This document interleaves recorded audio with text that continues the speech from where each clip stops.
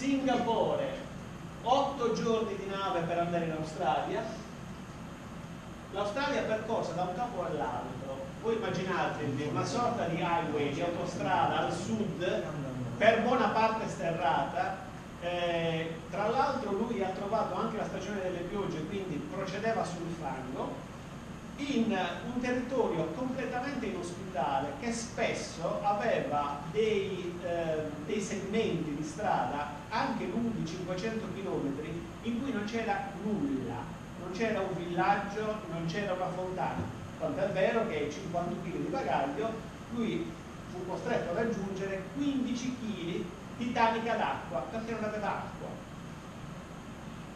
per darvi un po' la dimensione anche, come dire, parametrata con i chilogrammi di ciò che lui ha compiuto. Arriva poi alla fine Adelaide, dopo aver eh, percorso tutta l'Australia, si imbarca su un transatlantico e dopo 24 giorni di oceano arriva in Messico. 24 giorni di oceano. E a quel punto inizia la sua discesa dell'America del Sud, che finisce a La Paz dopo aver anche superato le Ande in una eh, situazione climatica estrema. A un certo punto incontra dei camionisti che gli dicono tu stai andando a morire, sei consapevole che stai andando a morire, ma lui aveva in testa di arrivare alla destinazione. Eh, io come ho conosciuto la storia di Libero? L'ho conosciuta grazie all'architetto Roberto Birris eh, Roberto per questioni professionali era stato a Tadasuni ehm, e stava sostanzialmente parlando possibilità di valorizzazione di questo piccolo paesino. Ricordiamo c'è un paesino che sta sulle sponde del lago Modeo, tra l'altro dal punto di vista ambientale una zona veramente bellissima. E Roberto a un certo punto della sua esposizione dice, beh io pochi giorni fa ho fatto il giro del lago Modeo in bicicletta assieme ad alcuni amici, c'ero anch'io con lui pensate, lui diceva, io ho fatto 80 km di giro. Allora si alza un signore, io ho fatto il giro del mondo in bicicletta. E a quel punto naturalmente Roberto ha cercato di approfondire la storia. E, subito. E mi ha subito telefonato.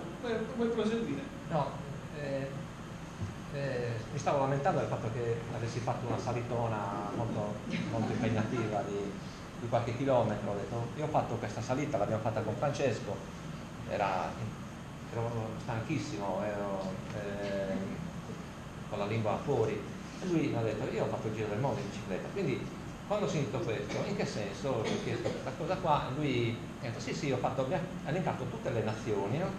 e ho detto, aspetti un attimo, eh, me li ripete per favore, io ho trascritto tutto nel, in un fogliettino, ho fatto la fotografia a questo fogliettino l'ho mandato subito a Francesco.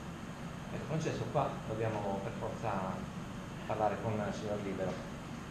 Ehm, Libero è stato bravissimo perché il suo viaggio l'ha organizzato appunto con il suo amico, con le biciclette, erano due biciclette uguali, però la cosa interessante che lui ha fatto, si è portato, eh, ha preso dei quaderni, quindi quotidianamente lui scriveva gli appunti eh, della giornata eh, sono 1500 pagine forse, no?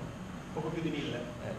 Eh, eh, e poi ha portato con sé una, una macchina fotografica. Allora non c'erano gli smartphone, eh, ha, scelto non le pellicole normali ma le diapositive. Quindi le diapositive hanno anche un'alta definizione, eh, possono essere riprodotte poi su, su dei pannelli, sui muri, eccetera. Lui queste diapositive eh, le ha scattate anche in maniera quasi professionale. Se vedete poi alcune fotografie hanno proprio una, un taglio eh, interessante, sembrano proprio eh, fatte da, da, dei professionisti.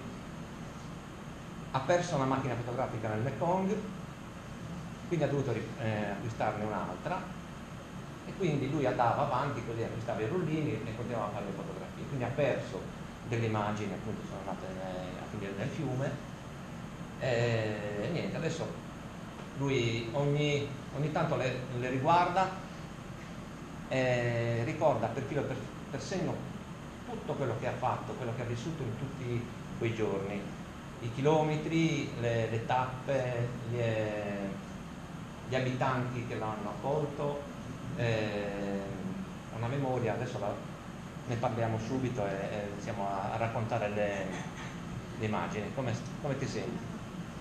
Un po' di acqua? Tenete conto che eh, fino a un paio di sere fa Libero aveva febbre. A un certo punto io stavo per chiamarti e dire guarda che dobbiamo annullare tutto. Ma uno che ha fatto 35.000 km in un anno e mezzo ci vuole ben altro per spiegarlo. Io quando poi ho conosciuto la storia, abbiamo verificato che la storia era assolutamente vera, la prima cosa di cui non mi capacitavo era come fosse stato possibile che per oltre 40 anni nessuno ne avesse saputo nulla. È possibile che non ci, non ci sia stato un collega giornalista, uno scrittore che si sia voluto occupare di questa storia? E in effetti è andata proprio così. Eh, quindi l'idea che questa cavalcata incredibile potesse rimanere nella sua memoria, nei suoi conoscenti, senza che diventasse ieri abbiamo fatto una lezione a scuola e vedevo che in termini di autostima, di consapevolezza, questa storia entra, incide, cioè il raccontare che un signore 50 anni fa, privo di ogni forma di strumentazione tecnologica, un giorno, spiegavamo anche perché lui ha deciso di fare questa cosa, lui era già un atleta, lui era un buon pugile, lui correva in salita, era un ottimo polista come il presidente della polisportiva. Correva in salita e un giorno incontrò per caso un signore giapponese, tra l'altro sordo muto, che stava facendo il giro del mondo in bicicletta, era partito dal Giappone lui l'ha incontrato a Champéry, un paese vicino a Guarone. Tra l'altro lo ha incontrato a dicembre mentre sulla zona incombeva una tormenta di neve. Questo gli ha raccontato, io sto facendo il giro del mondo in bicicletta, lui eh, questa cosa l'ha l'ha colta come un'opportunità, cioè una prospettiva a cui non aveva pensato. Aveva già fatto diversi giri in Europa, insomma, era un, atleta di buon livello. Quindi da quella sera lui ha deciso che avrebbe emulato l'atleta giapponese.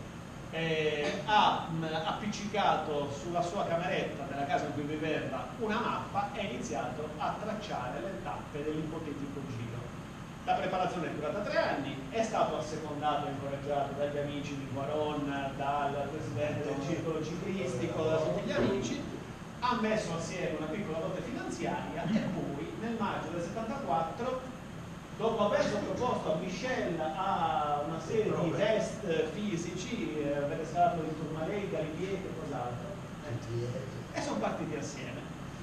E io questa storia quando l'ho conosciuta, eh, sono andato a trovarlo, eh, ho chiesto di poter avere accesso a questi diari, solo che lui con i suoi diari ha un legame quasi morboso fisico e quindi Roberto ha fotografato ogni pagina del diario. Voi immaginate diari ingialliti, spesso consumati dal tempo, a volte consumati anche dalla pioggia, si sono presi tutte le intemperie, hanno preso la neve nelle Ande, hanno preso i 53 gradi del deserto del, dell'Iran, insomma, anche loro hanno vissuto il viaggio e sono in qualche modo, ne sono usciti in qualche modo provati da questo viaggio. Allora io ho iniziato nell'estate del 2020 a trascrivere e ho passato due estati della mia vita a fare solo quello. Non ci poteva essere, voglio dire, tempo di fare altro perché li ha scritti in francese un francese ortograficamente non proprio ortodosso, insomma, e, e, poi alla fine è successo che l'anno scorso io ho mandato il manoscritto all'editore che si scusa per non poter essere qua, ma purtroppo qualche problema di salute, e Alberto Pinna, che per chi ha insomma, qualche conoscenza giornalistica è stato per 40 anni inviato speciale del Corriere della Sera, quindi un minimo di sensibilità per le notizie ce l'ha. Lui ha letto il manoscritto e ha chiamato il giorno dopo e mi ha detto questo non pubblichiamo su quindi nonostante Libero pensasse che quel sogno di vedere la storia raccontata in un libro fosse destinato a rimanere in un cassetto, uno dei tanti desideri espressi, alla fine il nostro libro ce l'abbiamo tra le mani e possiamo raccontarlo subito. È libero in piedi. Allora, noi procediamo.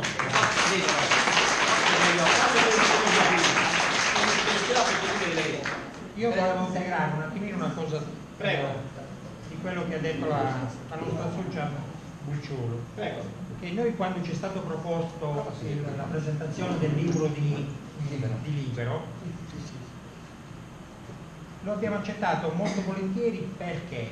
Perché nel nostro piccolo della nostra polisportiva abbiamo un socio che ha fatto 4.000 km di 4.000? 4.006 di bicicletta. Oggi? No, No, c'è il padre. È partito da Varese e è arrivato a Caponord. A Caponord ha presentato la nostra maglietta, si è vestito con la nostra maglietta, quindi ci ha dato ed è un nostro socio. Quindi quando c'è stato proposto la presenta- c'è stata proposta la presentazione del libro, per noi era un qualcosa di bello. Quindi l'abbiamo accettato ben volentieri e grazie di essere qua. Magari. Roberto fa un- anche un commento sulle foto. Sì, libero, tu riesci a vedere da lì?